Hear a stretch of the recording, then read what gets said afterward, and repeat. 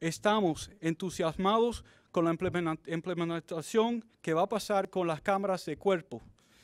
El objetivo es tener mil cámaras en las calles del condado durante este, antes del terminal del año fiscal, que en sí es antes de octubre primero.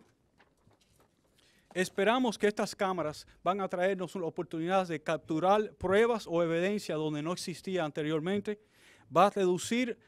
los, los incidentes donde usamos fuerza eh, en la comunidad, porque sabemos que cuando hay una cámara las personas se van, a, se van a portar mejor y van a haber menos agresión contra los oficiales, van a haber menos denuncias contra los oficiales y van a aumentar la confianza que la comunidad tiene en la policía, que eso es más importante porque va a traer mayor eh, transparencia eh, al departamento, para que la comunidad sepa que nosotros estamos aquí para ellos. Y el mensaje para la comunidad hoy es que tienen de asumir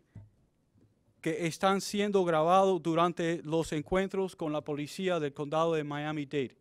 No importa si ven la cámara o no, tienen de asumir que están siendo grabados en ese momento. Y estamos bien agradecidos con nuestros compañeros de la compañía de Vivio y con los otros departamentos del condado que nos ayudaron extensamente a llegar a este momento, el ISD, el departamento de ISD y también la de tecnología. Estamos bien agradecidos por todo lo que han hecho ellos. Eh, estamos agradecidos por las palabras que dio el alcalde al principio de, esta, esta, rueda de prensa de mi parte. La pregunta fue eh, si, el si, el oficial tiene la, eh,